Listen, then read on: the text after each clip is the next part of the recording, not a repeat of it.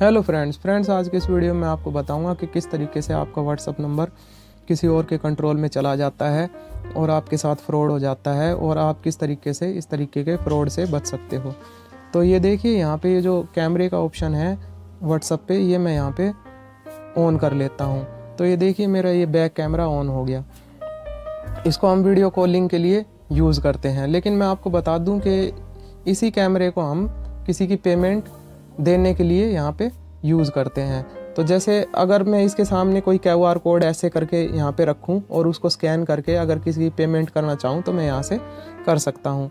लेकिन मान लो जैसे आपके पास कोई बंदा दूर बैठा है और आपने उसकी पेमेंट करनी है तो वो क्या करेगा कि आपके पास क्यू आर कोड को, की जो फ़ोटो है वो खींच के और आपके व्हाट्सअप नंबर पे भेज देगा और उससे आप पेमेंट कर सकते हो।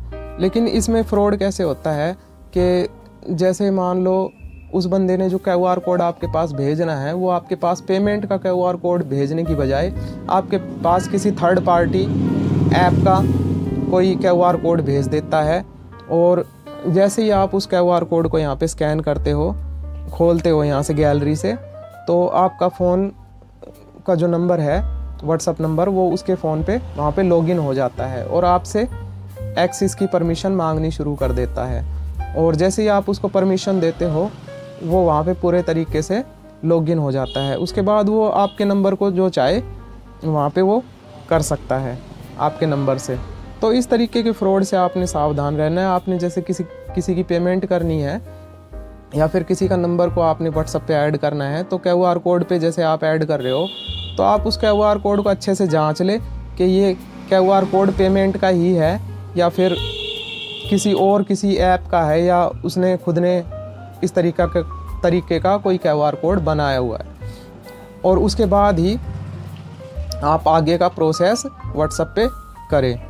तो इस तरीके से आप इस तरीके के फ्रॉड से बच सकते हो और आप अपने व्हाट्सअप नंबर को किसी के कंट्रोल में जाने से बचा सकते हो। फ्रेंड्स, अगर आज का वीडियो आपको अच्छा लगा तो वीडियो को लाइक कर दे। इसी तरीके के वीडियो मेरे चैनल पे आते रहते हैं। इसके लिए मेरे चैनल को आप सब्सक्राइब कर सकते हैं। Okay, thank you friend.